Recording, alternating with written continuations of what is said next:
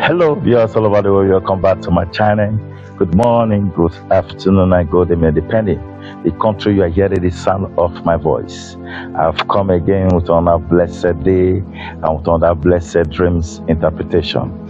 Please, if you have dreamed about chew stick, if you have dreamed about chew stick, anywhere you have dreamed about chew stick, that means you talk too much.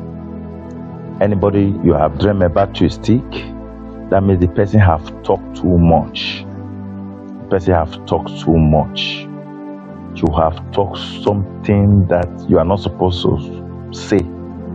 You have talked to your enemy, or you have related to your enemy, to your friend, or not to you that he or she is your enemy.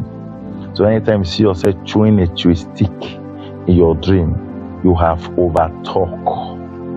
In Nigeria, we call it otawewe. You talk too much.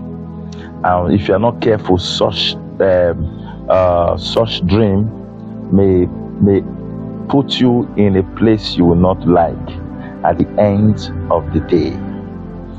At the end of the day, you may you may you may you may say that word last year you may say that word last two years, you may say that last month, last week. That word may come back again in other different words or another different way to really harm you or to disgrace you. So stop talking too much. I did not say you should not talk, but mind what you are saying.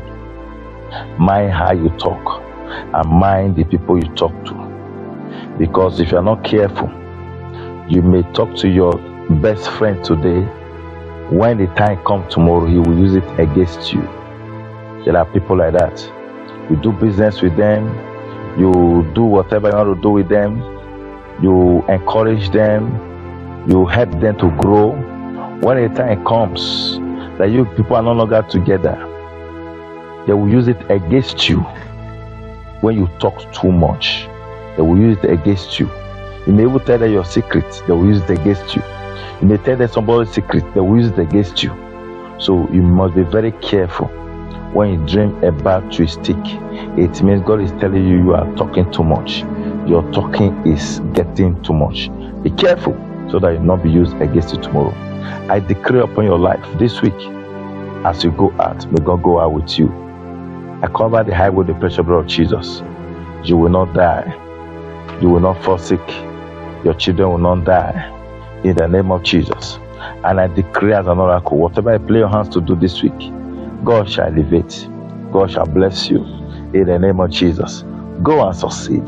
Go and make it. In Jesus' name, I have decreed. Amen. I love you all. God bless you. If you are not subscribed to my channel, subscribe to my channel. Bye bye.